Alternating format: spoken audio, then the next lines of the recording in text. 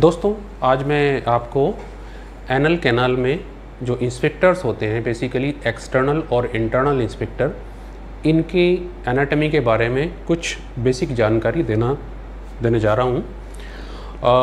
अनेक अवसरों पर बार बार स्टूडेंट्स ये पूछते हैं कि हमको while performing any surgical procedure जब भी हम कोई प्रोसीजर करते हैं तो वो इंस्पेक्टर्स एक्चुअली विजुअलाइज नहीं होते हैं। तो हम उनको कैसे आइडेंटिफाई करें? क्या क्या उसके पैरामीटर्स होते हैं? और उसमें अंदर भी जो जो मेन कुछ एनाटॉमिकल लैंडमार्क होते हैं उनके बारे में मैं वन बाय वन आपको बताऊँगा। तो सबसे पहले हम लोग एक्सटर्नल और इंटरनल इंस्पेक्टर की बात करते हैं।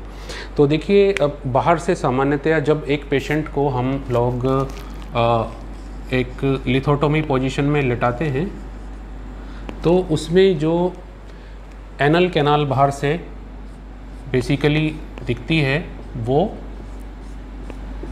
जो उसकी एक एंट्रो पोस्टीरियर स्लिट के रूप में दिखाई देती है वो, बाहर से। और ये जो स्किन होती है it is tightly fixed with the external sphincters by certain fibres और बैंड ये क्या, कैसे होते हैं, ये भी मैं आपको बताता हूँ। लेकिन सबसे पहले हम लोग एक्सटर्नल और इंटरनल इंस्पेक्टर की तरफ़ फोकस करते हैं, केवल उन्हीं की एनाटॉमी पर रहते हैं। ऐसे हमको एनल कैनाल दिखाई देती है। हम जब भी स्टूडेंट्स को बताते हैं कि एक पेशेंट को यूजुअली वैसे तो बहुत सारी पोस्चर्स होती हैं, लेकिन यूजुअली हम लोग लिथोटोमी पोस्चर में पेशेंट को एग्जामिन करते हैं। तो एग्ज़ामिन करने में सबसे पहले बाहर से क्या हम इन इंस्पेक्टर का पता लगा सकते हैं या नहीं, और पर्टिकुलरली जो इंटरनल इंस्पेक्टर होता है फिशर के केसेस में जब वो नॉर्मल से ज़्यादा उसमें स्पाज्म हो जाता है तो उसका कैसे पता लगा जाए? तो हम स्टूडेंट्स को स्पेसिफिकली ये बताते हैं कि कभी भी जब हम परेक्टल एग्जामिनेशन करते हैं तो स्ट्रेट फिंगर को इंसर्ट ना करें। इससे समस्या क्या होती है कि पेशेंट सडन उसको स्पाज्म कर लेता है, कोई भी डेफिनेशन नहीं आएँगी। सबसे पहले पेशेंट को एक्सप्लेन करना पड़ेगा कि हम उसको एनोरेक्टल एग्जामिनेशन करने जा रहे हैं because it is not a normal examination it is majority of the patients they hesitate uh, while perform while undergoing this certain this type of examinations.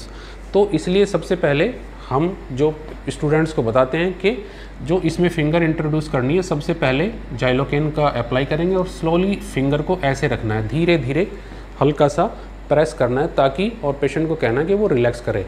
तो उससे क्या होगा कि straight insertion of finger is not desirable उससे वो spasm कर लेगा, हमको डेफिनेशंस नहीं मिलेंगी, बल्कि स्ट्रेट जब हम उसको फिंगर को धीरे धीरे रखेंगे और थोड़ा सा उसको हल्का हल्का प्रेशर देंगे तो एकदम से भी अंदर इंसर्ट नहीं करना है स्लो स्लो प्रेशर देना है तो ये जो इंस्पेक्टर है वो पेशेंट थोड़ा सा रिलैक्स रखेगा और ग्रेजुअली फिंगर अंदर इंट्रोड्यूस हो जाएगी then we can straightly advance our finger preferably index finger तो ये एक बात हो गई। दूसरी बात क्या होती है कि जब हम इंस्पेक्टर की बात करते हैं तो बेसिकली जो एक्सटर्नल और इंटरनल इंस्पेक्टर होते हैं they are the important anatomical landmark as well as in certain cases we have to take care of all of this sphincters while while performing different types of the surgical procedures तो जो external inspector होता है, यदि मैं coronal section में इसकी बात करता हूँ तो यहाँ पे suppose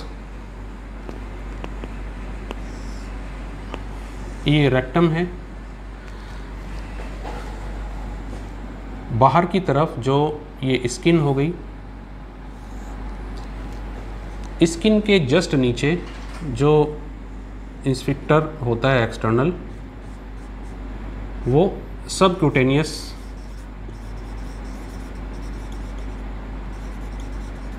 part of external sphincter subcutaneous part यहाँ पे यदि हम बाहर इसको देखें, ये एनल कैनाल है तो जब भी हम कोई इंसिजन लगाते हैं तो सबसे बाहर की तरफ़ स्किन होता है। स्किन के जस्ट नीचे जैसे ही हम इसको सेपरेट करेंगे तो हमको कुछ फाइबर्स एक्सटर्नल इंस्पेक्टर के दिखाई देंगे।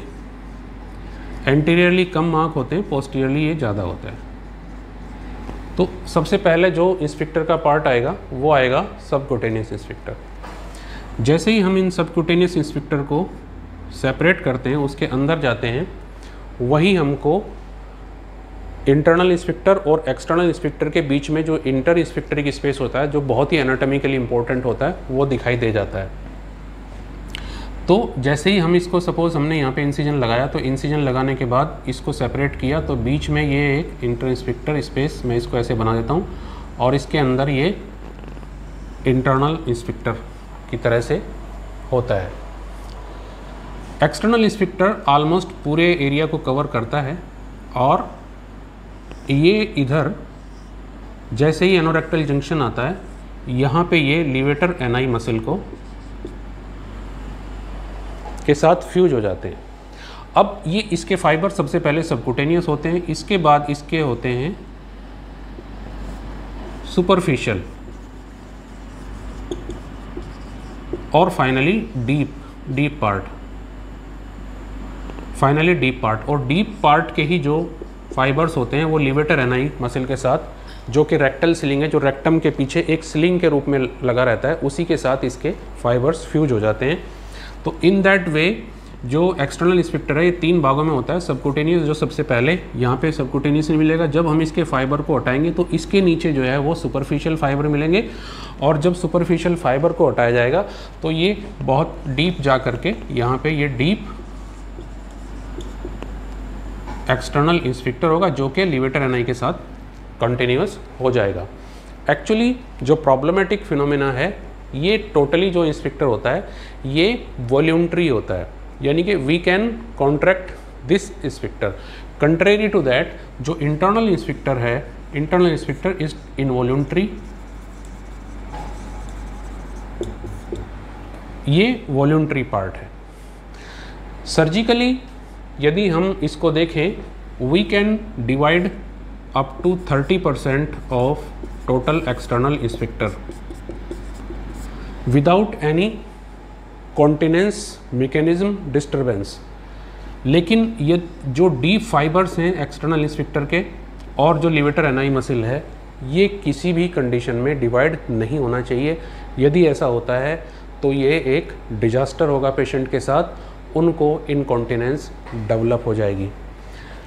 सबकुटेनियस और कुछ सुपरफिशियल फाइबर्स को हम डिवाइड कर सकते हैं without losing any continence mechanism that is an important thing जो फिस्टुला के संबंध में अब यहाँ पे जब हम इंसिजन हम कैसे उस फाइबर्स को देखें तो I will show you certain video of individual fibres deep fibres तो यूजुअली uh, दिखाना एक पेशेंट में बहुत डिफ़िकल्ट होता है but we can show you the subcutaneous very easy and some superficial fibre of the external sphincter and internal sphincter का जो नीचे वाला जो पोर्शन होता है, यदि हम यहाँ पे देखें तो अगर मैं इस, इसको यहाँ पे ये यह बनाता हूँ तो ये इंटरनल इंस्पेक्टर और इसके चारों तरफ़ एक्सटर्नल के फाइबर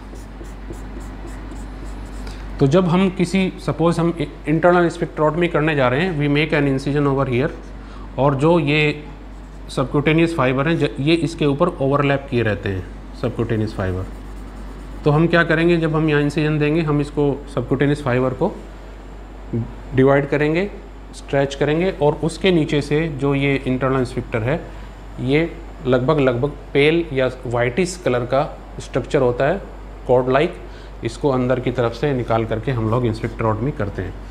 आइदर लेटरल और पोस्टीरियर पोस्टीरियरली भी मार्क्ड होता है तो हम यहाँ से इंसिजन दे करके सबसे पहले जो सबकुटेनियस फाइबर हैं उनको थोड़ा स्ट्रेच करके जैसे ही अंदर जाएँगे तो अंदर हमको यहाँ पे सब म्यूकोज़ा और म्यूकोज़ा होती है, इसके बीच में तो सब म्यूकोज़ा को फील करके। एक बात मैं आपको यहाँ पे और बताना चाहता हूँ कि यदि आप ये एसेस करना चाहते हैं कि इस पेशेंट में जो इंटरनल इंस्पेक्टर है, वो कॉन्ट्रैक्ट कॉन्ट्रैक्शन की स्टेज में तो नहीं है तो आपको क्या करना है? जैसे ही आप यहाँ पे परेक्टल एग्जामिनेशन करते हैं तो परेक्टल एग्जामिनेशन करने में जब हम अंदर जाएँगे तो सबसे पहले हमको एक छोटा सा ग्रूव दिखाई देगा।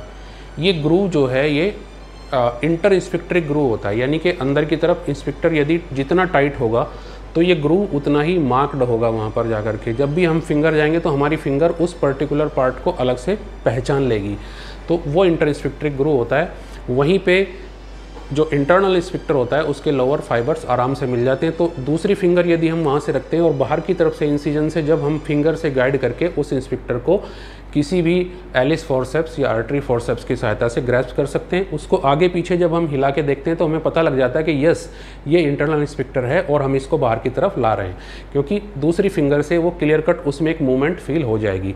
यदि हमने वो फाइबर नहीं पकड़े हुए हैं तो वो मूवमेंट फील नहीं होगी। ये भी एक तरीका होता है इंटरनल इंस्पेक्टर को पहचानने का। ये केवल उन लोगों के लिए है जो नए हैं या नए नए जिन्होंने लर्निंग शुरू की है। तो इस प्रकार से ये एक छोटा सा जो मैंने स्केच बनाया यहाँ पे, ये इंटरनल और एक्सटर्नल इंस्पेक्टर के बारे में था। Thank you very much